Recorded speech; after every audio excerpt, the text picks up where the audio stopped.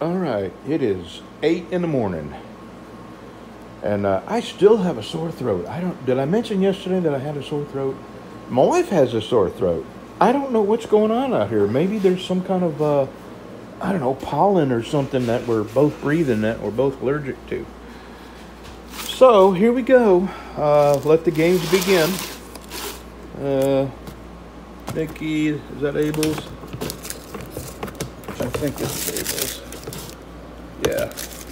So that's Glenn's over there. All right. Let's get these undressed and uh, get the pins cut off. Somebody asked me why the pins stick out, and I'll tell you two two reasons. One, I have to chamfer chamfer the edges of these pins because I make these the holes at the pin. Hold on, I'm going to sneeze. One second. Oh Lord.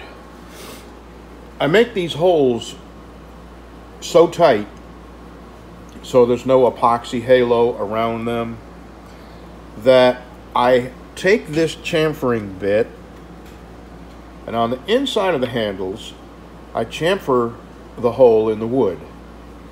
And the pin I put on my belt grinder and I chamfer the very the corners uh, of the pins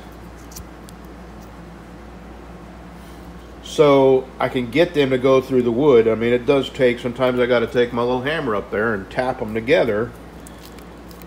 And the reason is I want them to, to be a very tight fit around the pin. Uh, so there is some waste, and I cut them wider. Look, I'll show you. I cut them since it's a you know unpleasant, boring job. Uh, I cut all my pins at once.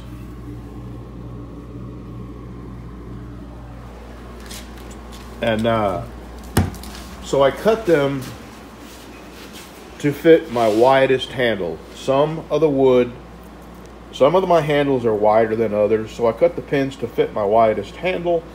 And if I make a, a thinner handle, that there's more sticking out. Which you know we're talking about uh, a brass, a three foot brass rod is not very expensive at all. So we're talking uh, maybe 20, 30, 40 cents for the three pins in here. So I'm not, you know, there's, I'd rather make it convenient for me than uh, worry about saving a, a pin or two at the end of a three foot rod. So that's why there's they're sticking out. Same with the stainless. Uh, where's the stainless? This is got stainless. The uh, stainless is just as cheap as the brass, and it's just when I get to this point, I unwrap everything, get them cleaned up, I put it on my bandsaw and I knock the nubs off uh, all the way down, all three pins. And then I clean them all up on my belt sander, belt grinder. And then I put them on my router and knock the corners off so they're ready for sanding. Okay, let me start getting them undressed.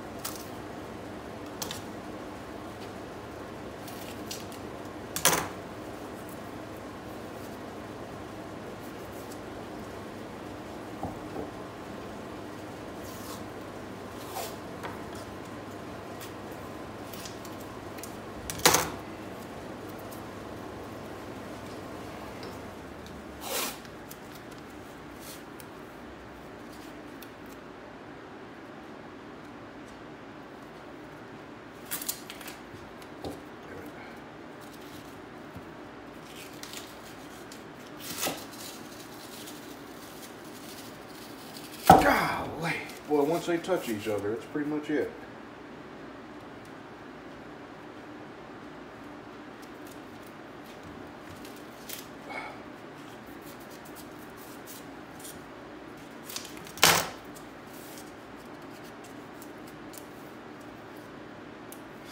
what I do is I leave the tape off the top because when I sand this, it always, I always sand down into the shiny part some, so I have to go back and blend this shiny part in with a, with a new part that I'm working on.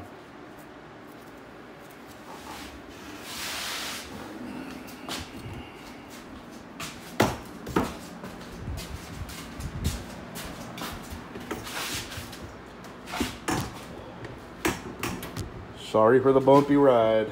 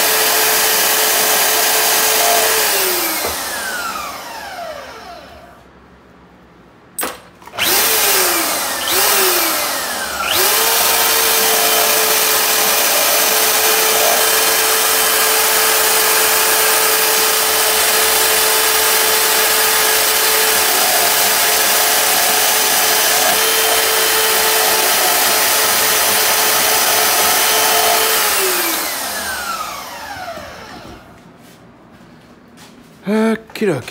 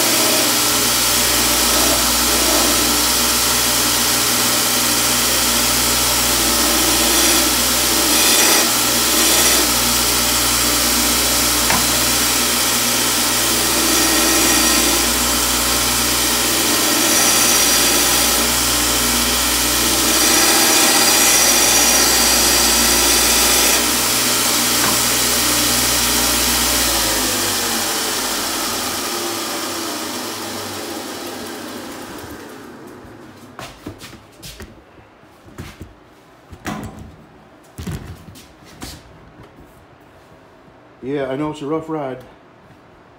So Sally.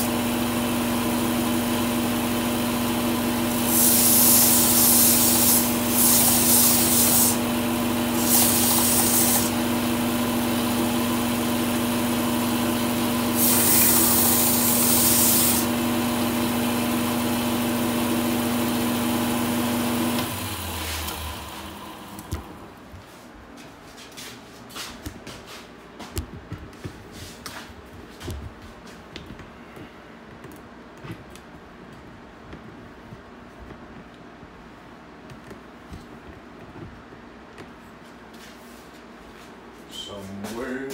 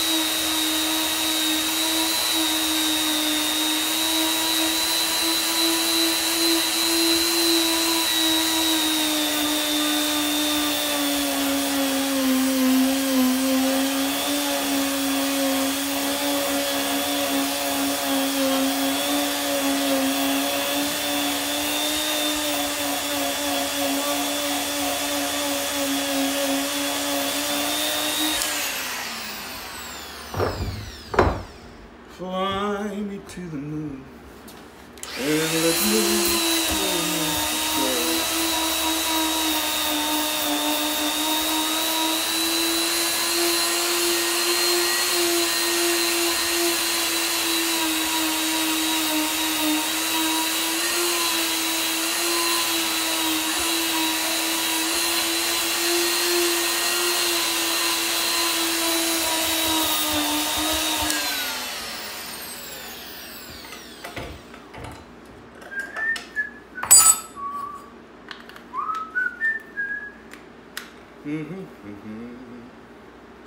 Do, do, do, do, ba, ba, ba, ba. Jupiter and Mars. Mm-hmm. Mm-hmm.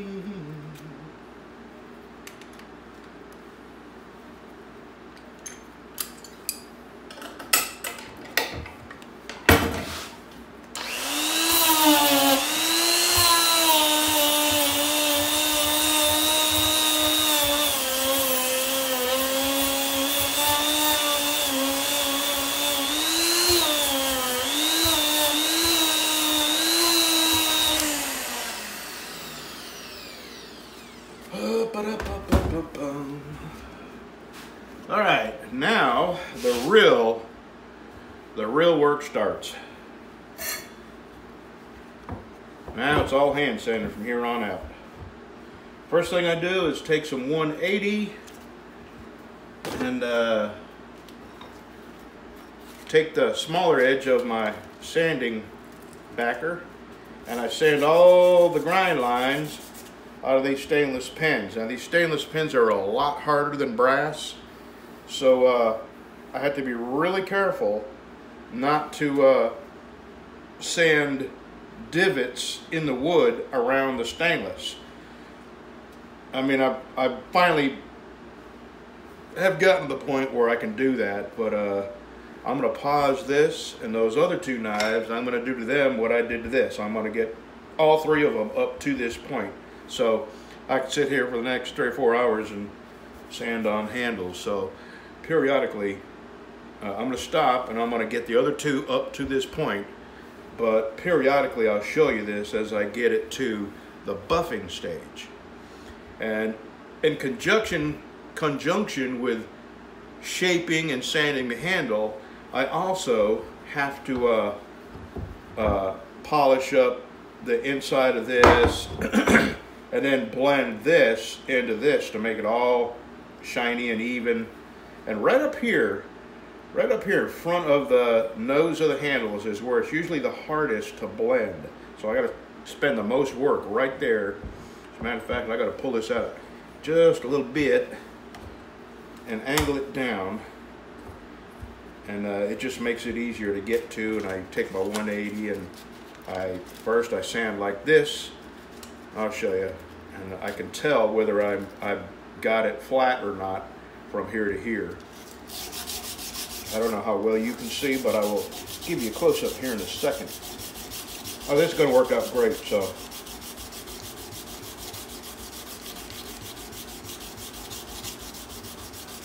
Yeah, that's going to work just fine.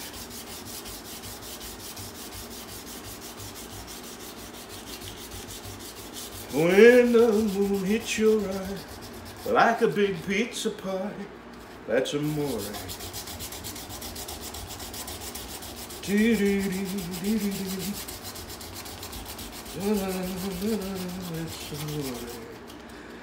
When I was a young man, I used to pick my little babies up and dance them all around the house singing that song. And uh, my oldest, my daughter, Tiffany, she used to request that song when I would come home from work. Sing Moon Hits Your Eye, Daddy, sing Moon Hits Your Eye.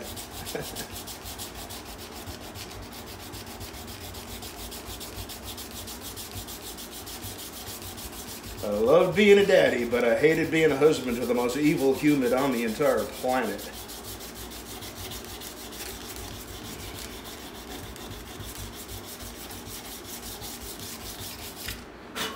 All right, one close up, and then we uh, get coffee. Did I mention coffee? Hold on, let me get you out of this. Okay, let's have a, a look see here. You see how my sand lines go in this direction? Well, from 180, now I, I sand the whole handle like this, underside, both sides, everything. Even the back here, I got to sand like that.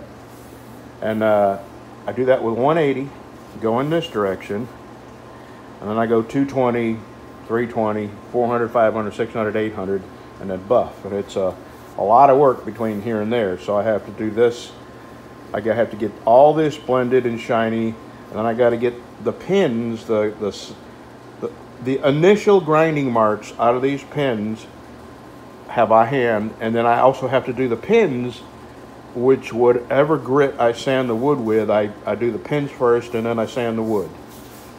So, I think my sore throat may be coming from breathing this stuff, dummy. I have masks. So, uh, I am going to get a cup of coffee and drink it and uh, and then get them to that one and that one up to this point and then just sit here and sand all day. And I have uh, Salties, Manly Man, Buffalo Killing uh, with a Manly Man walnut and Pins of America, brass pins. And then I got Jay wants a file knife and uh, that's Chechen burl right there. That's going to be, you know what? Let me put a little bit of a, I'm going to show you how pretty this wood is.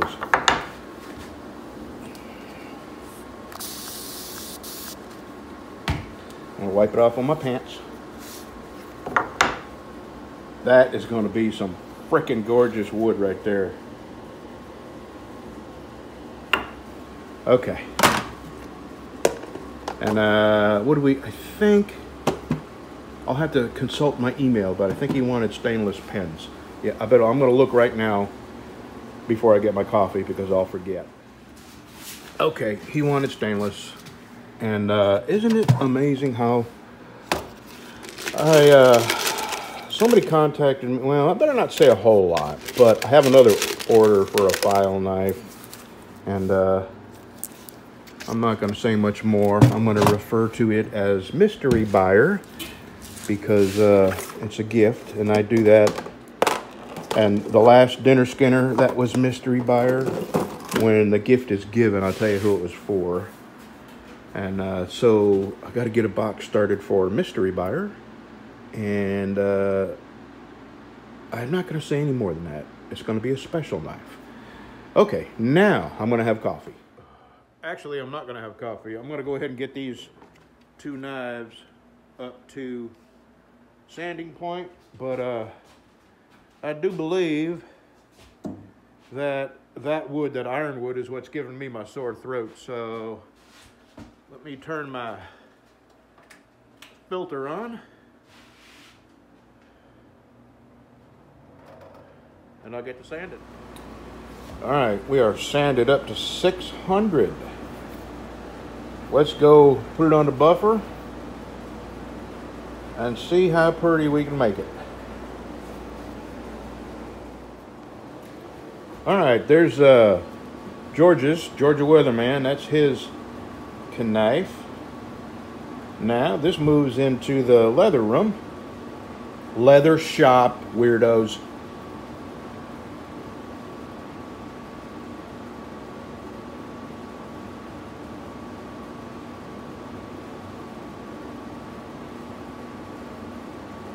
Boy, I am liking these file knives.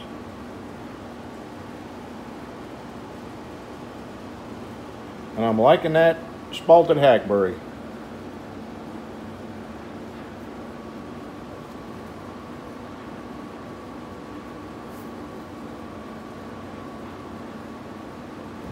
Okay, now I'm going to uh, get started on this one. I should have these three uh, done and ready for their sheaths today. I should have.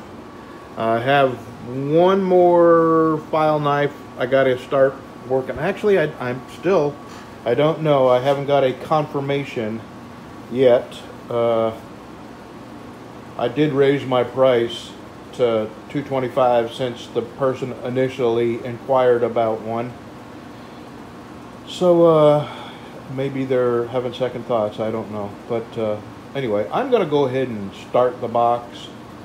And if the person does not want it, I'll just keep making it. And maybe by the time I finish it, somebody will want it. Okay, I've got these all cleaned up and ready for the hand sanding.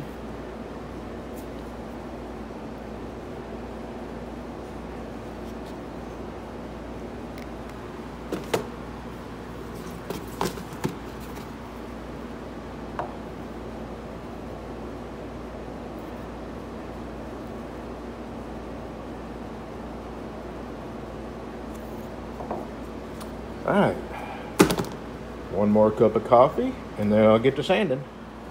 All right, there's Abel's. Boy, do I like that desert ironwood.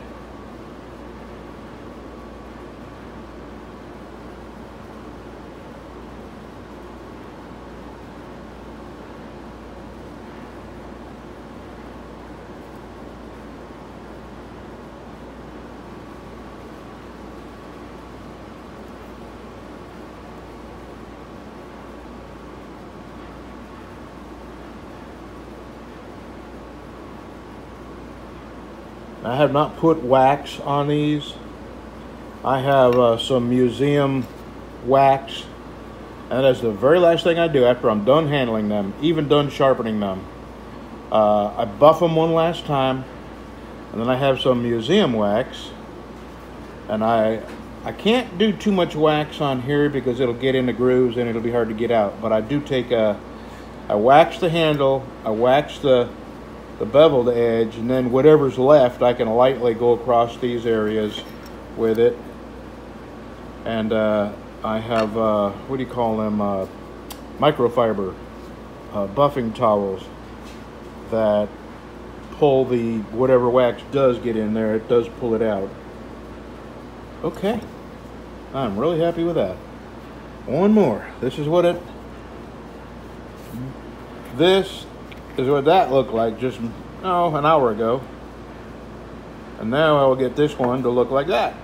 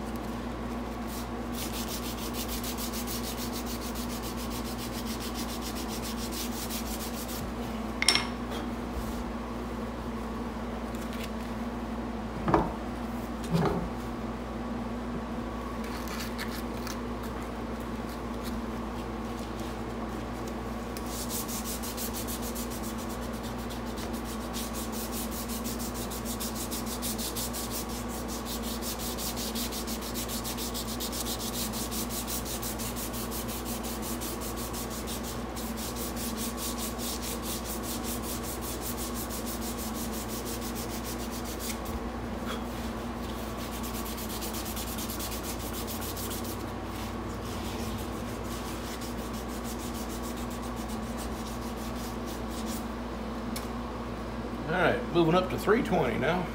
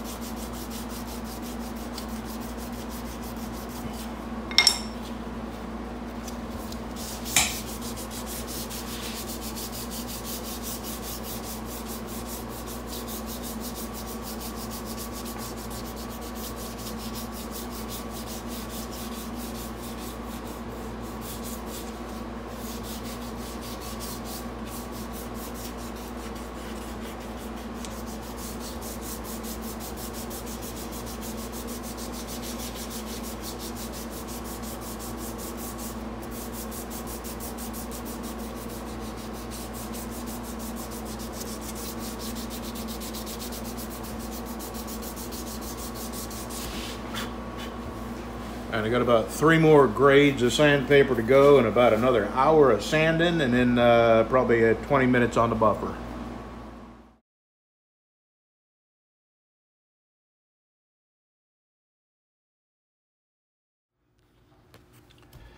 So if you've made it this far in the video, this is the video.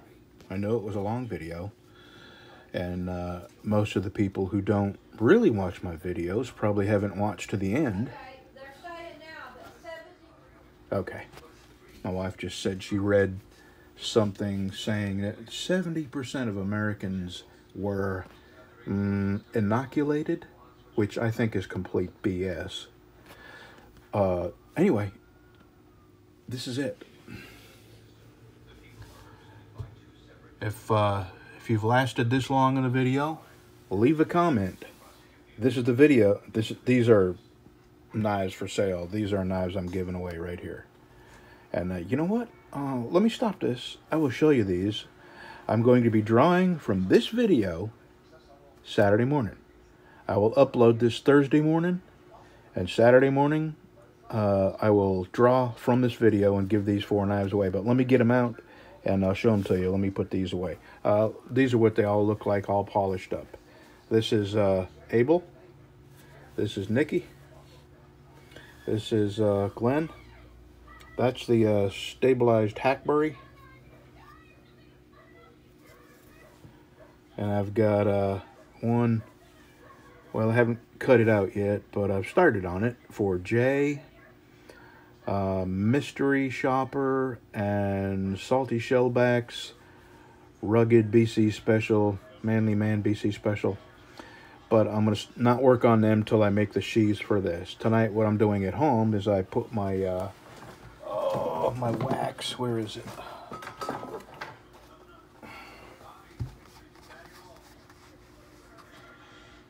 i wax them up and then buff them and then they're ready for their sheaths Okay, so let me uh, put these away. i get these out and show them to you. All right, this is one of the knives. This is a neck knife.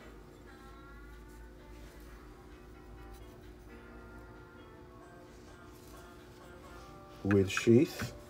And when you get this, careful. When you get this, you adjust it to the length you want, and then you tie it right here. This is uh, white oak, curly, with a little bit, it's got a little bit of curl in it. BC Special. And I don't really like making the BC Specials uh, out of the files, or making, yeah, BC Specials from the files, because uh, it's a much smaller knife, and it's a little bit wasteful of these very hard to get files. So that's uh, knife number two.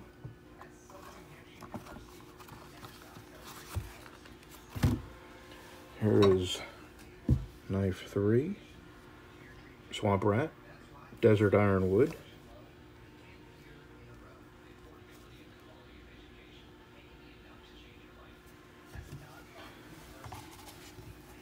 With a sheath.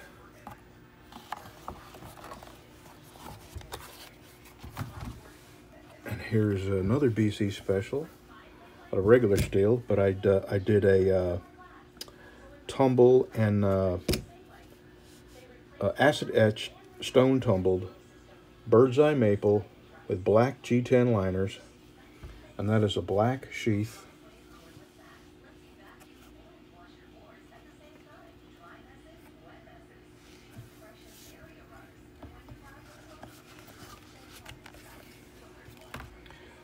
So, many thanks, many thanks for being a subscriber. And uh, I'll up, you'll you'll see this Thursday morning, even though this is Tuesday evening. You'll see this Thursday morning and Saturday morning.